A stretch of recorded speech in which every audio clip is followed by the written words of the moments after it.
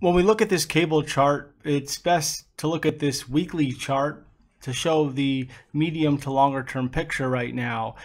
That's because the market has seen a big decline in 2018, but that decline is starting to find some support at a very important level.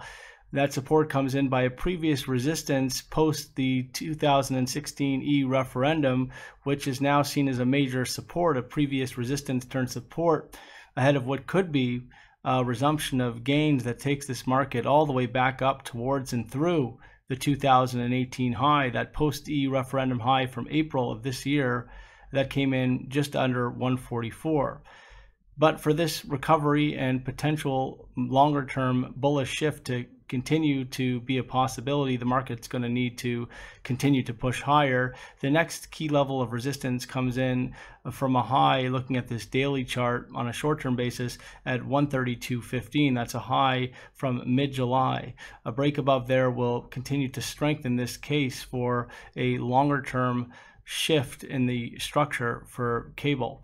As far as setbacks go right now, any setbacks should be ideally now well supported into dips towards that recent low that we had seen, which came in at right around 127.85.